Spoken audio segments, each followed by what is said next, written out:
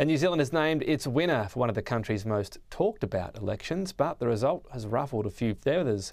Tens of thousands of people from around the world vote for the Bird of the Year, which has seen its fair share of scandals.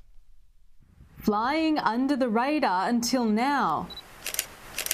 It's a very worthy winner. The Forest and Bird team who run Bird of the Year are totally stoked. The rock wren named this year's top bird. Towards the end, it became a neck and neck race between two birds. We had a seabird, our little penguin, the korora, and a tree bird, um, our only alpine, our only true alpine bird. The mountain dweller narrowly defeated the little penguin for the crown, the flightless bird bearing a familiar face to its Australian relative. If you've ever seen or heard of fairy penguin, then that's what we call a little penguin over here in New Zealand. Even smaller, the rock wren weighs less than a AA battery.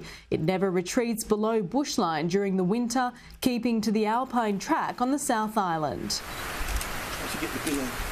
Two-time champion and all-round favourite, the Kakapo parrot, was eliminated from this year's competition. The controversial move hoping to raise awareness for lesser-known species. We had a theme this year for Bird of the Year, which was the underbirds. We've got a lot of birds in New Zealand that most people have never heard of.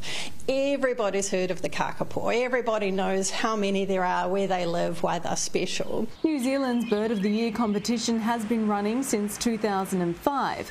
It was established to raise awareness for birds under threat. 80% of New Zealand's birds are heading towards extinction, so they're either threatened with extinction or going in that direction. It's really um, quite a serious situation. But over the past 17 years, the process has become somewhat of an electoral race. Volunteers are able to sign up as campaign managers to entice votes. The competition has seen its fair share of election scandals. In 2018, Australian pranksters filed 300 fraudulent votes in favour of the shagbird. A year later, in 2019, a suspicious number of votes from Russia sparked rumours of interference. And just last year, controversially, the bird of the year was named a bat.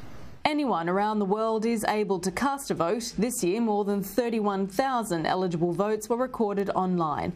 The rock wren taking the top spot out of a total of 71 bird species, including 21 underbirds. Jessica Maggio, Sky News, Wellington.